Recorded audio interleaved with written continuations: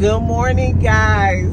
I am out. I'm working today. This is very impromptu. So listen, I don't know how this video is going to go because I don't have my remote for my camera, the phone, everything. But I wanted to pop in. Um, you all can ride along to work with me. I'm not going to really talk about a lot of work stuff, so I don't want people thinking that that's what I'm talking about today. But I do have a uh, work day in the life of a registered nurse coming up soon, home health, and I'm going to be sharing some of the work, the remote work that I've been doing. I wanted to pop in. I'm just going to call this Talk About It Tuesday. For some reason, at the very beginning of the month, I get week, month, everything. I love beginnings. I love beginnings, fresh starts, and different things like that. I get uh, supercharged super motivated. I was in a bit of a slump because I was so busy in the month of August and I didn't properly plan. So that kind of got the best of me. I was a little anxious. I was a little down and out because I felt like I uh, didn't do a lot of things that I wanted to do. I did things that I needed to do, but I didn't do a lot of things that I wanted to do. And I resolved that that was okay. But what I want to talk about today is gratitude. I am living in what I am calling my for this I prayed era. For this I prayed. I think we spend so much time thinking about the future, thinking about things to come, thinking about the things that we desire, that we skip the for this I pray era that we happen to be living in. And I want to thank my daughter. My daughter really prompted this. Uh, last month in August, I, I shared with a friend of mine that I just fell in a spirit of gratefulness one evening. Just overtook me, overcame me. I was almost arrested in my bedroom uh, bathing in gratitude and things that I was so proud of myself for, for leaving, for walking away from, and for ultimately choosing myself, for choosing me for, okay? But my daughter, we uh, we recently were on vacation. We just came, we're fresh off of vacation. And while we were there, I don't know what prompted this uh, for her, but we're always, as I am sure most people are teaching their children about being grateful. So I um, always share with my daughter how uh, blessed she is, how privileged she is. And I just also want her to have an attitude of gratefulness, of gratitude. And we were there in the hotel. Uh, my husband was in more like, I guess, the, the common area, the TV area. He's a big TV watcher. Uh, he had laid down and kind of took a rest, fell off, drifted to sleep and my daughter and I were in the bedroom. I was editing a YouTube video. She was what I thought was TikToking or chatting with her friends on her cell phone. But all of a sudden, my daughter is very touchy-feely. She loves hugs. She loves to let you know that she loves you. So that we get that repeatedly all day from her. And she came over to me and she uh, got next to me in the bed. And she, and she was counting something with her fingers. I didn't know what she was doing. But she just began to just state I could hear what she was counting. And she was naming all these different cities and states. And what I figured out she was doing was she was counting all of the places that we have been able to travel to this year, just the year of 2023. And she just gave me the biggest hug and um, just just held on to me so tight. And she said, Mommy, thank you. Thank you so much. And I said, what? What are you thanking me for? And she just began to just name out cities and states and different things everywhere we have traveled to. And she said, I just thank you and daddy so much. And she said, can I go and thank daddy? I said, well, baby girl, if you want to, you can. But he's sleeping, so you can either do it now or you can tell him when he wakes up. She said, I'm just so thankful, mommy. And thank you for teaching me for being grateful. And uh, if I ever uh, came off.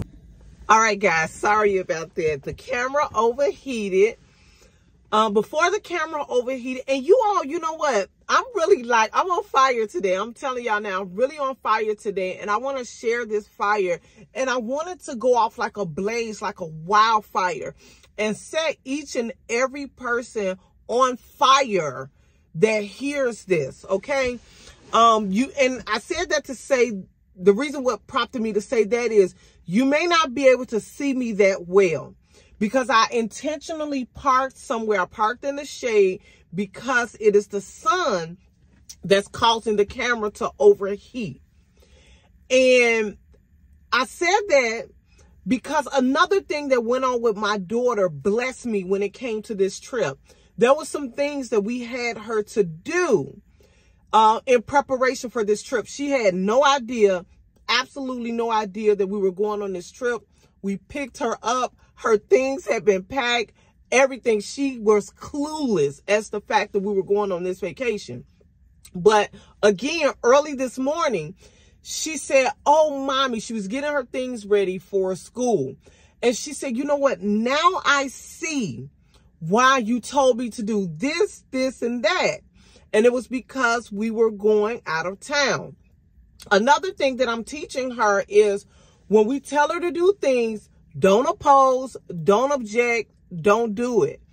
And the thought came to my mind as I was parking here and I was like, well, they may not be able to see me. I don't need you all to see me well. I need you all to hear me. And I need you to follow the instructions that I'm giving today. That was the same thing that we needed her to do when we were telling her to do certain things. It wasn't about seeing why or understanding why we were telling her to do it. We just needed her to follow the instructions so that everything could run smoothly.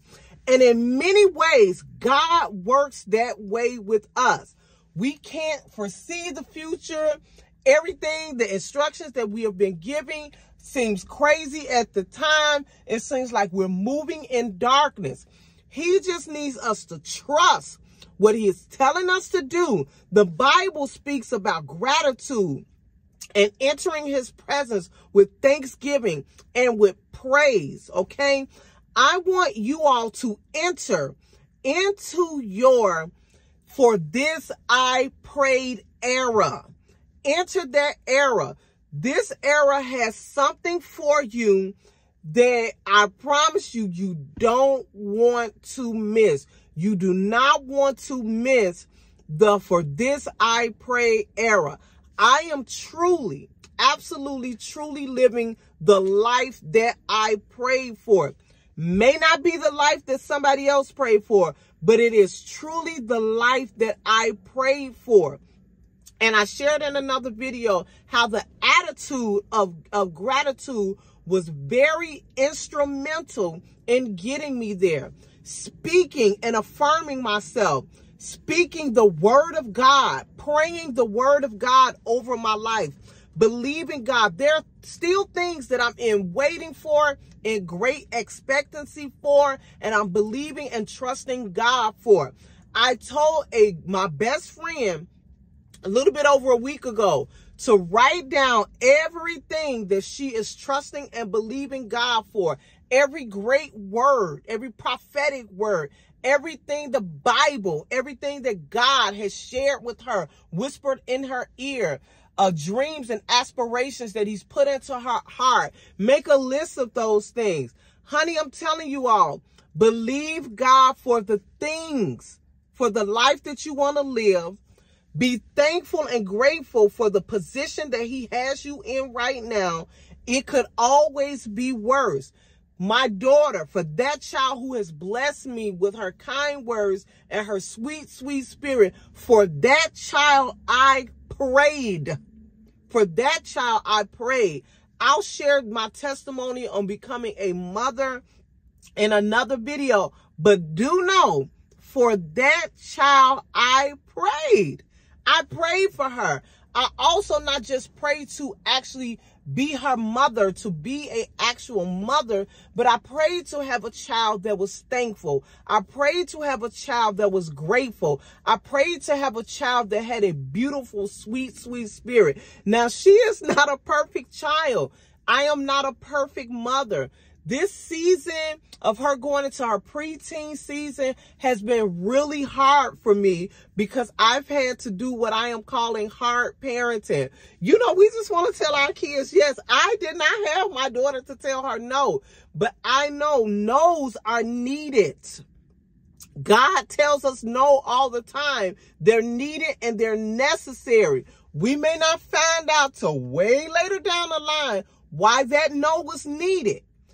Just as I need her to trust me as a parent, I need her to trust her dad as a parent. When we say no, we also need to become and get into our childlike spirit and trust the no's from our father.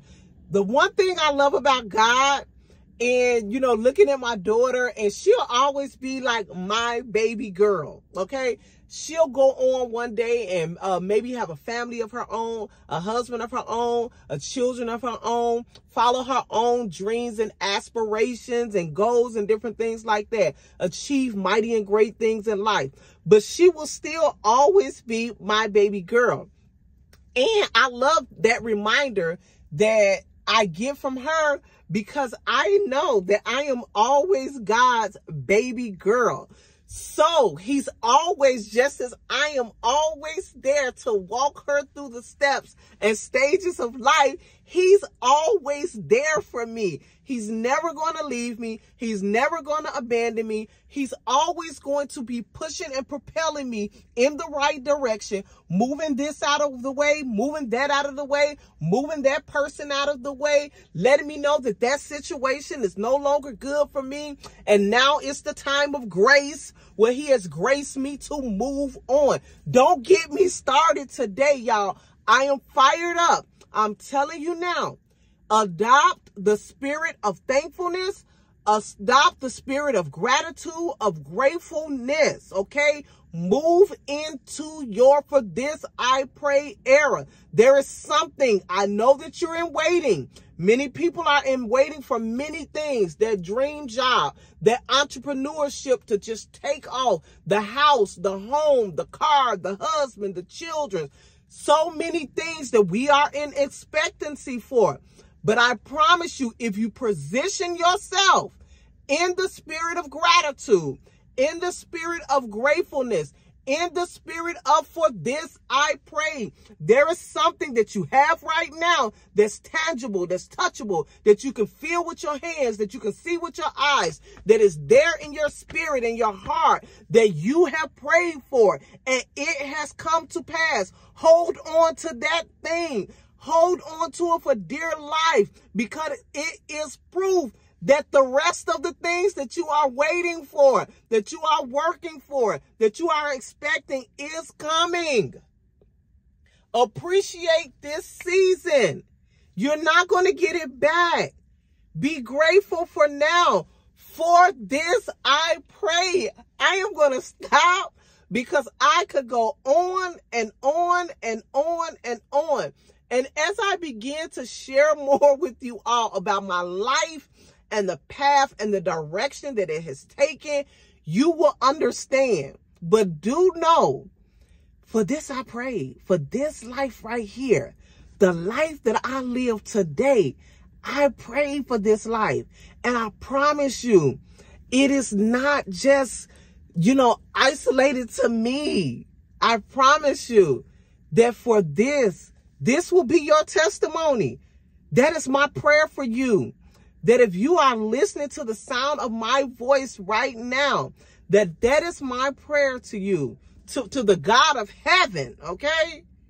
The God of heaven, the God of the Bible, that he blesses you with a this I pray attitude, a this I pray spirit, a this I pray gratitude and thankfulness, that you forever, ever, ever, I'll never stop living this era. I prophesy even over my own life that I will never stop living the this I pray for era. Every second, every moment, every minute, every hour, every month, every week, every year of my life will be that for which I prayed. And I pray that same thing for you all. I pray that this blessed you all. I have made it to my destination. I am going to get out of my car. I'm going to park where I actually need to be parked at because I parked over here for a reason. Uh, like I said, because I did not want the camera to keep cutting off you. I love you all. And like I said, this is just Talk About It Tuesday. Sometimes we don't talk about certain things enough. We don't want to come off as feeling like we're bragging and we're boasting and different things like that. But we overcome by the words of our testimony. And I hope that this blessed you today. And I hope that you enter into your for this I pray era. I love you all and happy Tuesday.